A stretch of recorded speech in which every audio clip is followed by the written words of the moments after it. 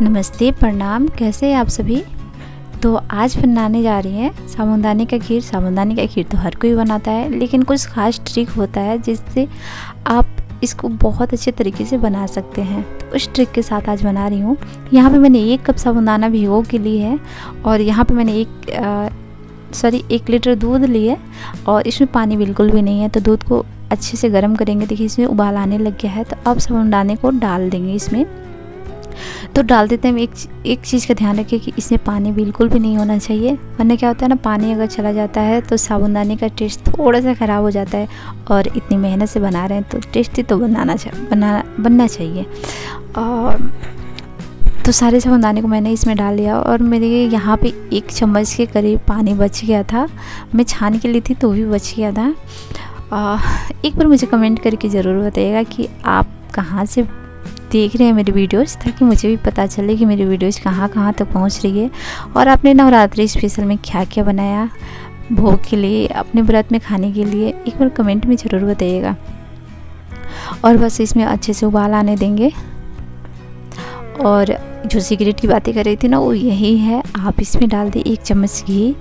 घी से क्या होता है ना बहुत अच्छा बनता है ये। चिपकता बिल्कुल भी नहीं है तले में और ना ही ये आपस में चिपकता है एकदम खिला खिला बनता है।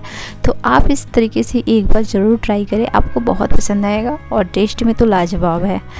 तो आपको एक चीज़ मैं बताना चाहती हूँ मेरा एक चैनल था यूट्यूब पे आ, कुकिंग का उस पर फिफ्टी के सब्सक्राइबर थे बट पता नहीं किसी ने हैक कर लिया या डिलीट हो गया मुझे नहीं पता नहीं मिला मुझे।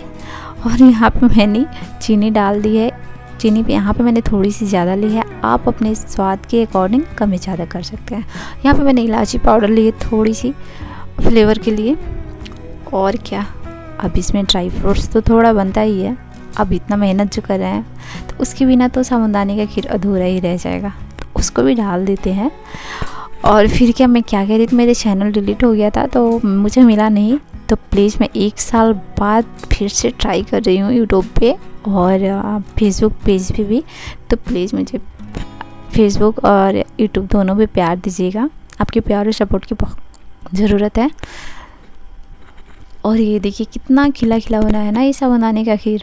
तो आप इस ट्रिक और टिप्स के साथ ज़रूर बनेगा आपको बहुत पसंद आएगा।